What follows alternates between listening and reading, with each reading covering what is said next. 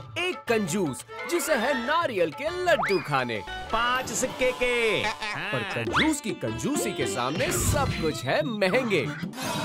देखो, एक नारियल एक कंजूस की क्या हालत करता है। Only on story time with Sudha Amma